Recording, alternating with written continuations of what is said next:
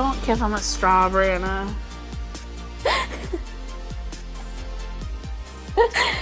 no, baby. Baby Mike. Got his hand dirty. Yeah, I.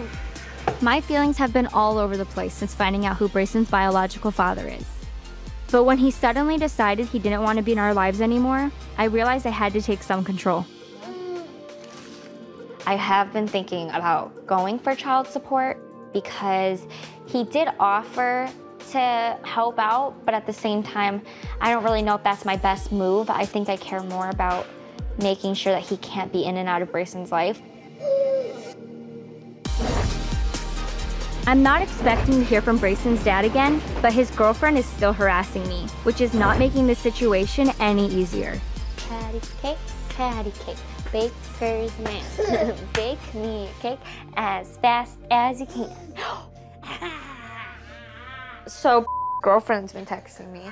She's just been like email, text, DM, message. What is she saying? Um, it literally says, "Told yo ass he ain't want to do with y'all. Sorry."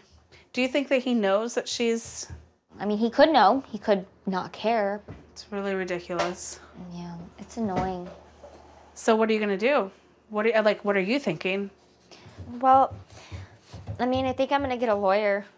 I feel like honestly, he needs to know like Braeson is not a toy. He's not a little like baby doll, and you can't just play games. So like 10 years down the road, you're not gonna be able to be like, oh, now I want to be. You know what I mean? You want him to sign his rights away? Yes.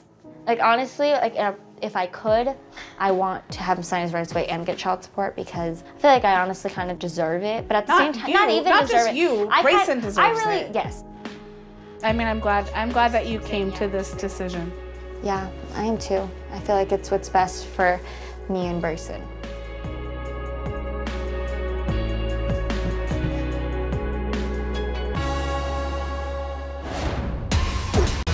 Give me the kisses. Yay, puppy! Your mommy good sugars. No, like this. Mm-hmm.